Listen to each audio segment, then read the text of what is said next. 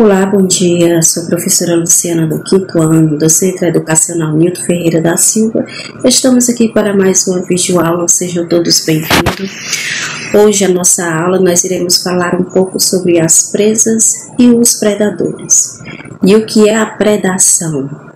A predação é uma interação interespecífica em que os indivíduos de uma população predadores capturam os, os outros, no caso as presas, para se alimentarem.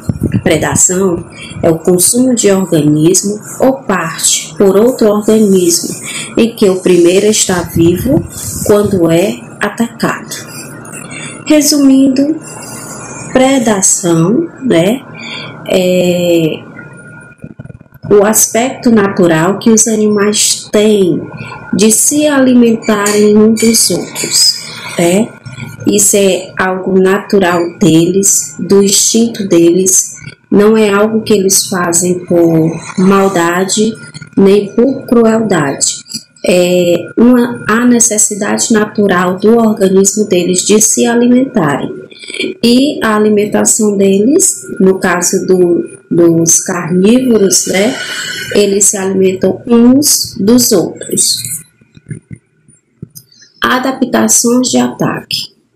Os predadores apresentam diversas adaptações de ataque. Alguns têm garras desenvolvidas, dentes aguçados, bicos fortes, deslocam-se rapidamente e possuem órgãos de sentido bem apurados.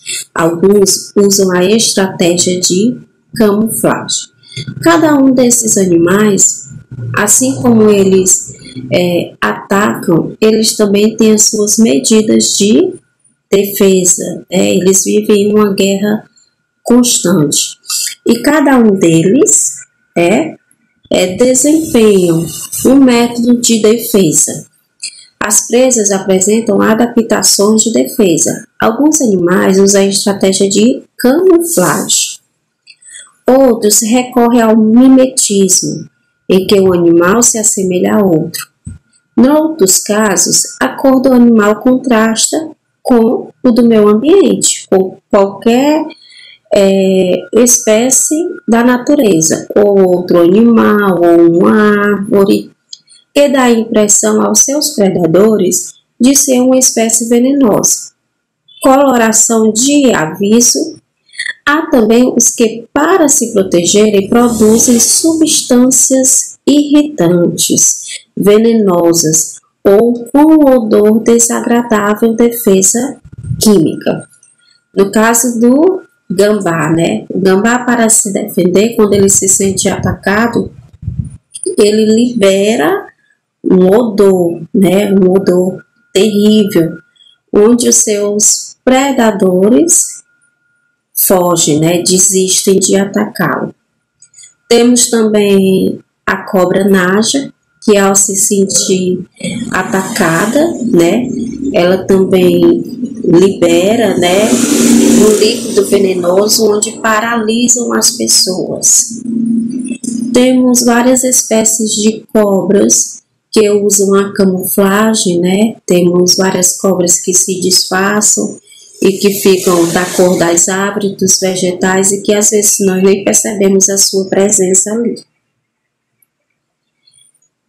Nessa guerra constante atrás de alimentos, nós temos animais carnívoros, herbívoros e os oníferos, né? Normalmente os predadores são carnívoros que se alimentam de animais herbívoros, mas podem também ser omnívoros. Alguns predadores utilizam como presas outros animais da mesma espécie, incluindo os seus descendentes, fenômeno conhecido por canibalismo. Conclusão: com este trabalho, ficamos a saber a predação é uma das interações entre animais de diferentes espécies, onde um animal captura outro para se alimentar. Né? É, predação é, no caso, uma necessidade natural dos animais, né? Eles vivem nessa busca constante atrás de alimentos. Aqui nós iremos ver com mais detalhe alguns das, dos métodos que eles usam para se defender dos ataques. Né? No caso, nós vamos começar vendo a predação, que são as adaptações para o ataque, né? Os predadores. Geralmente os predadores eles têm garras bem desenvolvidas, dentes aguçados, bicos fortes e curvos, capacidade de correr, saltar ou fazer voo picado, órgãos de sentidos bem apurados e camuflagem, capacidade de se assemelhar a outro ser do meio ambiente. A presa, as adaptações da presa, que no caso essas adaptações são para a defesa. Elas também usam camuflagem, revestimentos com espinhos, carapaças, conchas. Usam também de defesa química, né? Certos animais e plantas produzem odores desagradáveis ou substâncias químicas irritantes e venenosas. E o mimetismo, capacidade do animal se de conseguir fazer assemelhar-se ao outro, certo? Camuflagem é quando o animal ele tem a capacidade de se disfarçar em algo da natureza, em uma folha, em uma planta, em um vegetal. É o que chamamos de camuflagem. Né? Vamos ver alguns exemplos aqui.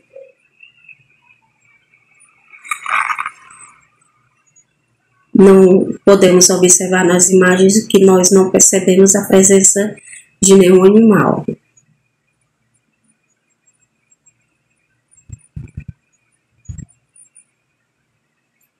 Agora nós vamos entender melhor o que é mimetismo, né?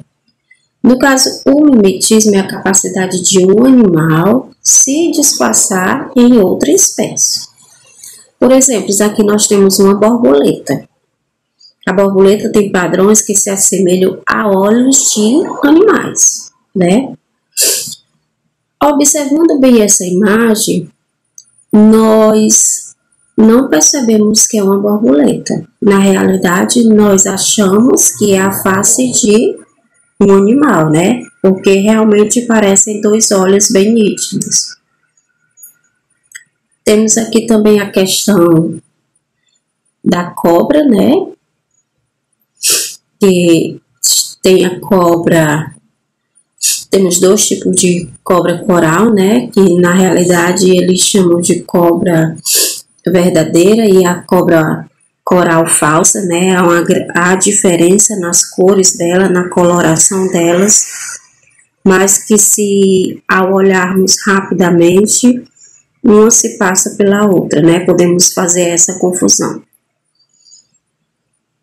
Recapitulando, camuflagem é a presença de características que fazem o animal parecer com o meio ambiente, com um tronco de árvore, com uma folha, com uma planta, com a areia.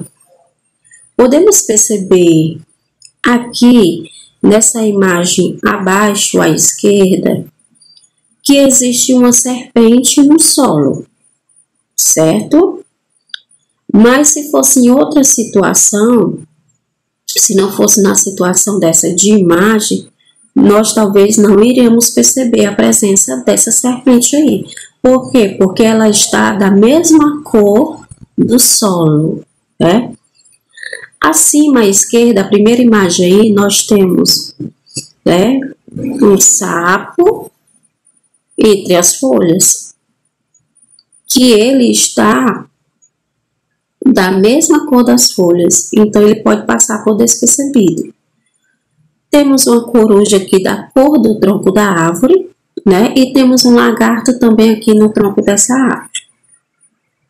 O mimetismo ocorre quando duas espécies diferentes possuem características que se assemelham. Voltando aqui para a imagem da cobra coral, né? Que nós só vamos perceber diferença entre as duas se nós observarmos né? Com muita atenção. Mas se nós olharmos com o olhar rápido, nós não iremos saber distinguir qual espécie, né? Para nós seríamos uma mesma cobra, uma cobra coral e pronto. No caso aqui da borboleta também, nós podemos observar que são dif diferenças mínimas, né? Que talvez sejam notáveis apenas por pessoas que já tenham o hábito, né? De trabalhar com essas espécies no dia a dia. No caso aqui, nós temos a cobra coral verdadeira, abaixo, ao lado esquerdo, e a cobra coral falsa, né? Fim. Espero que vocês tenham gostado da aula. É, pesquisem mais sobre esse assunto, é um assunto bem, bem interessante. Nós temos uma fauna e uma flora bem diversificada, né? E é um assunto bem interessante entender essa guerra natural entre os animais atrás de alimentos, né? E essa questão da camuflagem, do mimetismo também é muito interessante nós conhecermos mais um pouco. Façam a leitura no livro de vocês, as atividades com bastante atenção. Um beijo, até a próxima.